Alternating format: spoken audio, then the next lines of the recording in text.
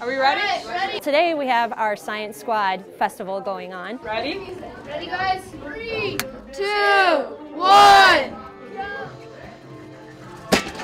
Our eighth grade students have been working for a month to prepare exhibits to teach science lessons to all of the third grade elementary students in our feeder area. All the Newton's laws and potential and kinetic energy. We have physical science in the form of chemistry, such as running a battery off of a lemon and lighting an electrical light with that, um, showing the elasticity of surface area of a balloon um, by puncturing it with a skewer without making it pop. We have uh, students who used physics to design a hovercraft that actually can carry a third grader across the floor. All the little kids love it and they get to ride in it and it's very fun. This one, there was a meteor probably about this big when it finally got to Earth and drop it. There are tons of tons of incredibly creative projects here today. I could keep going on and on.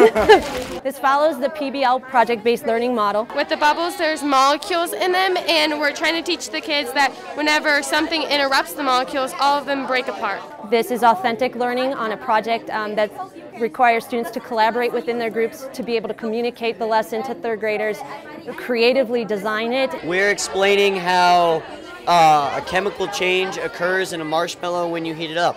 They brainstorm to anticipate the questions third graders might ask them and how to answer them. Maybe next time they go camping, they make s'mores. Uh, they can maybe tell their parents, hey, uh, chemical change is happening when we're cooking the marshmallows. Ooh. They're putting forth the effort and everything that they've learned throughout the entire school year. It's about Bernoulli's principle. In an authentic assessment. So the air under it is uh, keeping the airplane so it can glide through the air. If we try to do just a typical pen and paper unit test, we have so many students who would be tuned out from that that it wouldn't be a very good gauge of what they've learned. On the count of five, we'll start this tornado. Ready? This is extremely reliable. See how it makes a noise?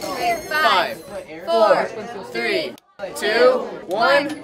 Tornadoes! It grabs attention a little bit better than a textbook and a piece of paper and a pen. Has more memories than just knowing words and definitions.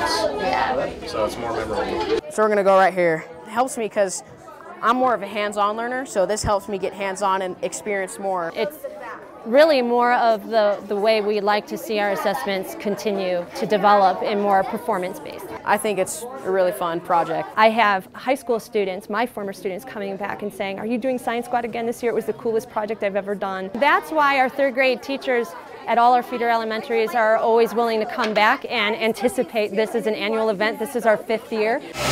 It's evolved over the years and become bigger and better every year.